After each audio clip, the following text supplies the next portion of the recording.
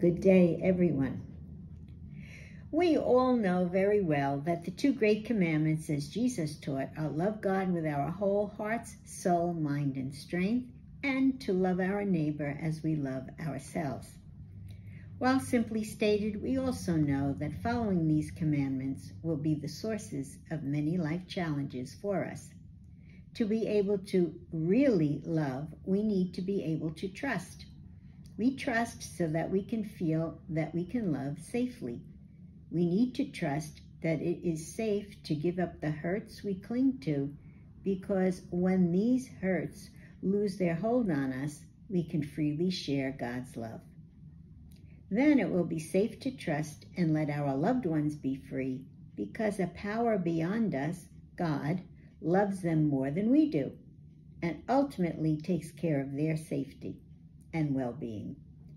In other words, it is safe to live our lives always without fear because our faith teaches us that all will be well. And even if we do have fears, we can move on courageously. It is not easy to believe this. Why? Because we know that most of us are wounded, lacking confidence, anxious about many things, and feeling the need to protect ourselves. So it is hard to let ourselves be vulnerable, to trust, that is, that it is safe to love. The Gospels, morally and religiously, speak of the essence of surrender.